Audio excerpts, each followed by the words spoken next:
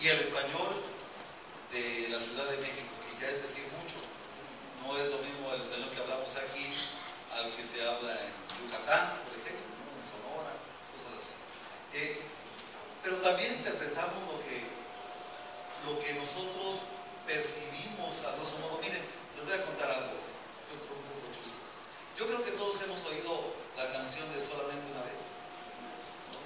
Hasta la podemos cantar, pero es de, de Agustín Lara, ¿no? El maestro Agustín Lara. ¿Qué sentimos cuando cantamos solamente, o cuando oímos que cantan solamente una vez? El amor pasajero, el amor que se extraña, el amor. Ustedes saben que Agustín Lara tuvo muchos intérpretes. Uno de ellos, el primero, que le gustaba su intérprete, era José Mojica, no sé si hayan oído sobre José Mojica, es un intérprete de las canciones de Agustín Lara, que cuando comienzos, resulta que este señor le dijo a Agustín Lara que ya no iba a interpretar sus canciones. Entonces se alarmó, se alarmó Lara y le dijo,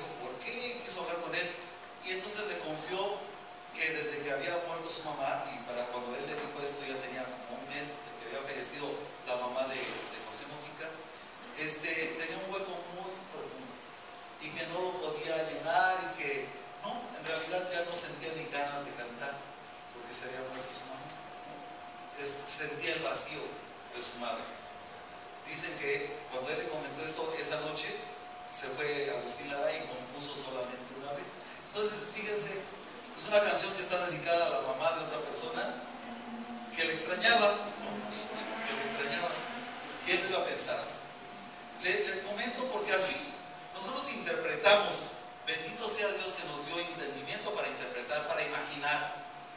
para adecuar lo que, lo que percibimos.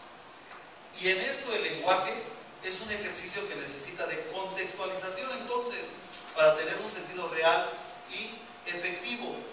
Ya con esto que les dije, yo creo que nunca más van a oír de la misma manera solamente una vez, porque tiene un contexto porque se hace evidente el sentimiento que le impulsó.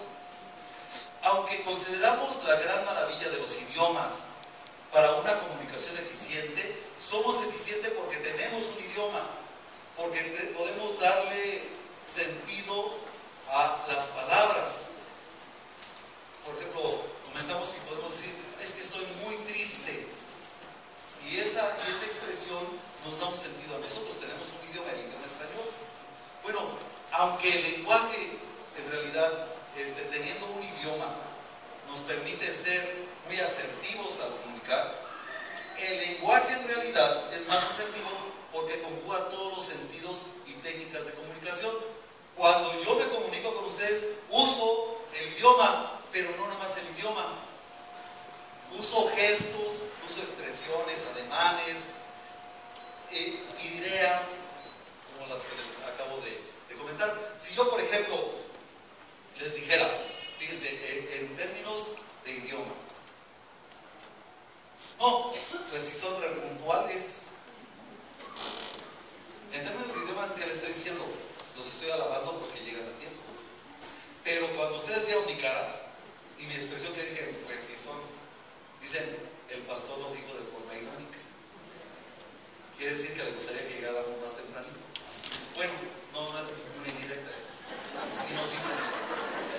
Porque, hermanos, cuando alguien nos habla, no solo nos impacta el tono y la armonía de su voz, sino también lo que pensamos de esa persona, la manera de dirigirse a nosotros y sobre todo las palabras que utiliza para transmitir su mensaje.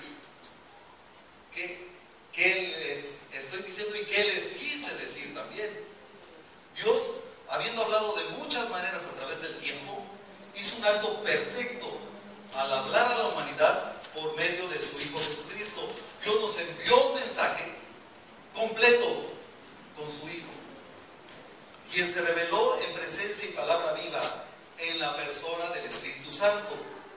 Que ahí en el pasaje que nos leyó nuestro hermano César hace un momento, más adelantito en el verso 26, dice, mas el consolador, Él os enseñará todas las cosas y os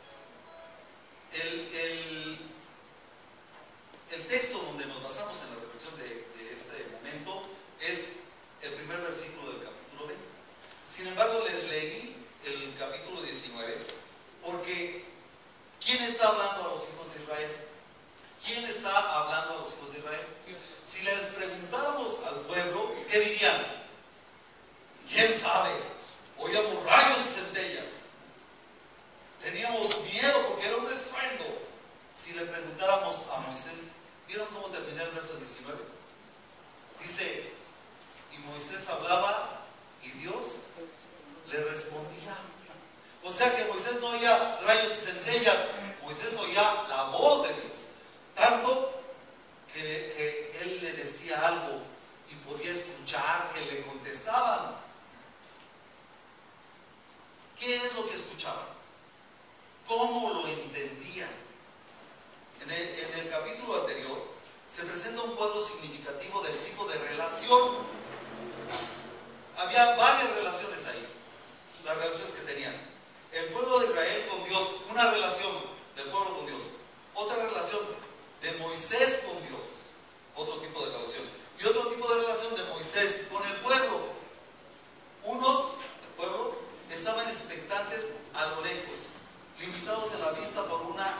esa nube, parcialmente percibiendo truenos, relámpagos, fuego y humo, con un sonido de bocina tan fuerte que los estremecía, dice, y el sonido de, de bocina los estremecía, y tenían miedo, tenían pavor, no salían, tuvo que ir Moisés a sacarlos.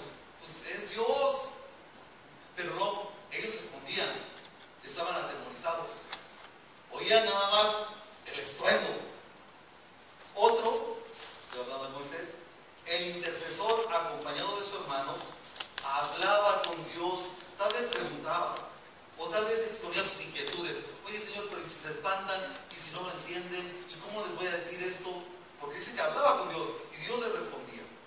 Y también, a la vez, Moisés buscaba la forma de compartirle al pueblo lo que escuchaba, lo que comprendía y le impactaba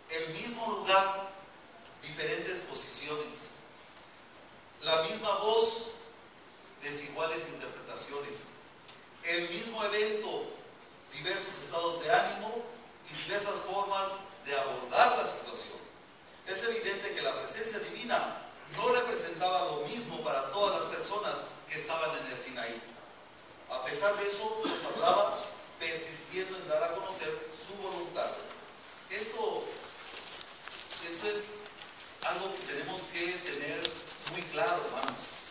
Cuando hablamos de Dios, cuando usted llega a un camión y habla de Dios, todos los que van en el camión pensarán lo mismo. Sentirán lo mismo. Cuando usted le dice a alguien que Dios te bendiga, cualquier persona lo interpretará de